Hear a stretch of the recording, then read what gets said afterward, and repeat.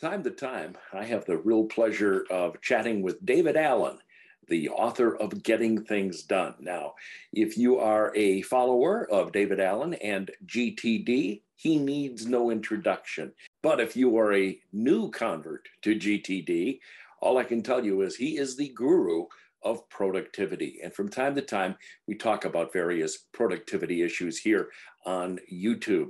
Don't miss any of them. Hit the subscribe button. Today, we're going to talk about the onslaught of meeting notes. Uh, I don't know if you're like me, but you can be consumed on an average day with one meeting after another. And in those meetings, you take notes.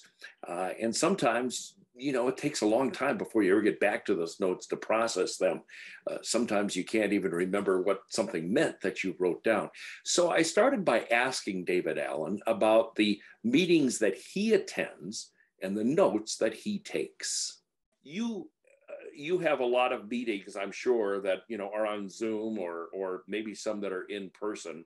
Um, I presume that you are a note taker, that you're always writing notes from meetings because you always say you have notepads around you to just jot an idea. I'm sure when you're in a meeting, you're doing the same thing. To what extent are you writing extensive notes when you're in your meetings? And what do you do depends, Depends on who I'm talking to and why. These days, I don't, I'm not doing a lot of stuff in meetings that then I then have to capture a bunch of stuff I need to do a whole lot about.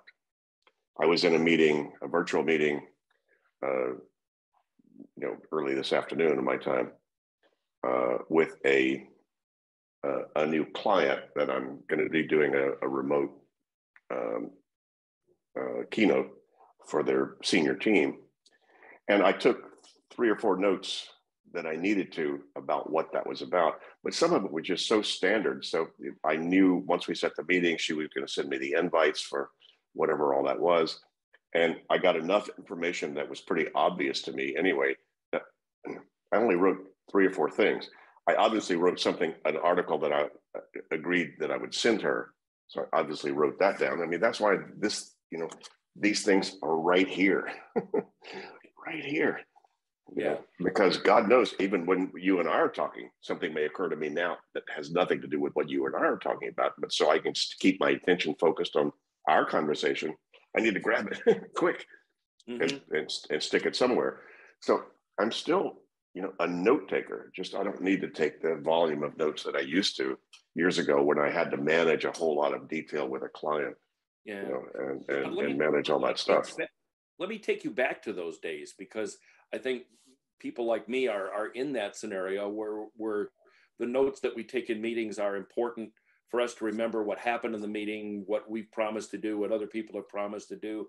Um, when when you were in that game on, on, on, a much more regular basis, what did your notes look like? Were they were they complete thoughts? Were they mind maps? What did you do?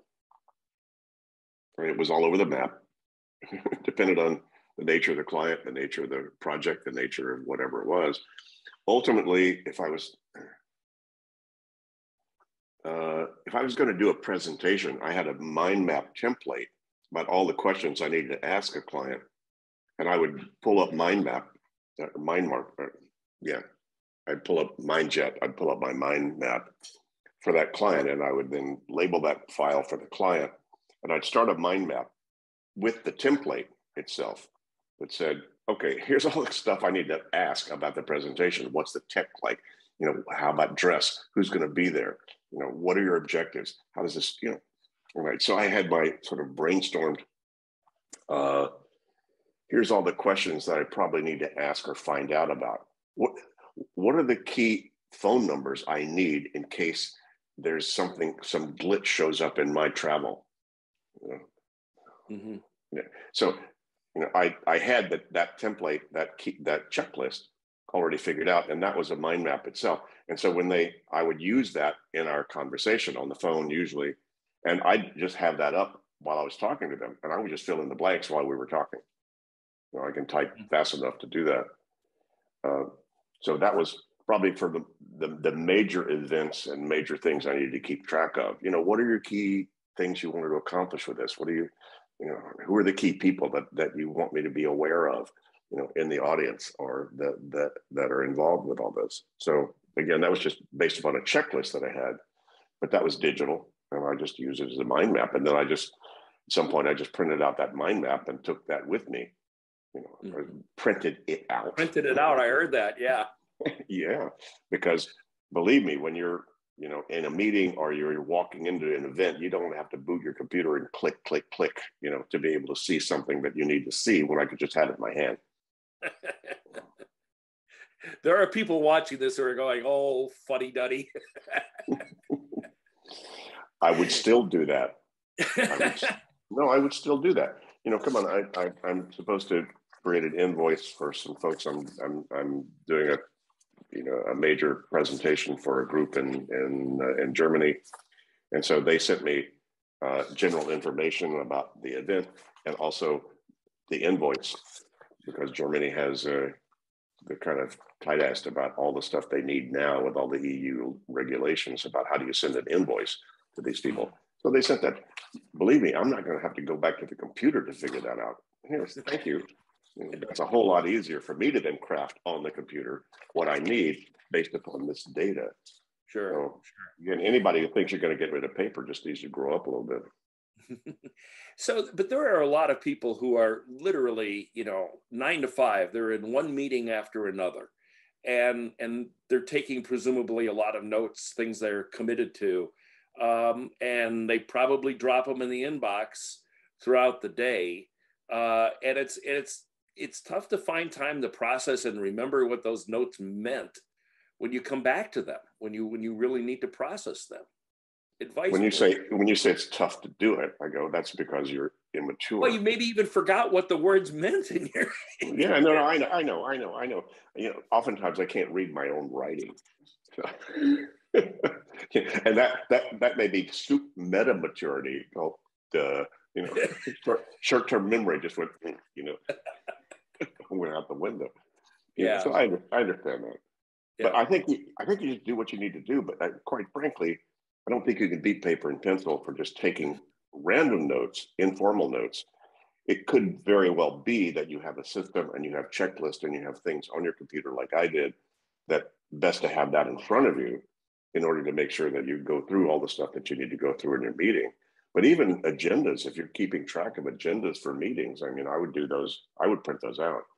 But that's a whole lot easier to then print out that page and then while you're in the meeting, take physical notes, you know, uh, on that printed out page of the agendas, and then go back, throw that in your in tray, and then before the end of the night or within the next 24 hours, you pick up those notes and go, okay, here's what I need to capture about that. Here's what I need to put in my CRM or whatever, you know, mm-hmm. about mm-hmm. whatever about whatever happened. You know, uh, I'm as you mentioned my my association with public radio, and so I started my career as a journalist, and I so I'm trained to just take notes. I'm I'm always writing notes down. It helps me to remember things, but I am absolutely horrible when people say, "Would you take minutes of the meeting?" Because I don't take notes like that. I take what's important to me as opposed to trying to do transcripts of the meeting. Yeah, you know? understood. Well, sometimes it's best to record the meeting and then have that hand that to somebody, you know, that's paid in a, in a lower pay grade than you. Say, right. would you please transcribe all these, all this? Right, and, right. David Allen is the author of Getting Things Done. It's my pleasure to be able to talk with him periodically about various productivity issues. Hey, if you have questions that you'd like me to ask David in a future episode, uh, just send me an email, daveedwards at outlook.com go to my website daveedwardsmedia.com and uh, send me a message through the uh, through the contact page.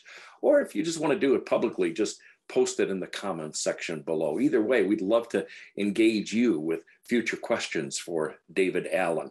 And if you don't want to miss any episode i ask you to do me a favor subscribe and hit the like button below. I'm dave edwards. We'll talk soon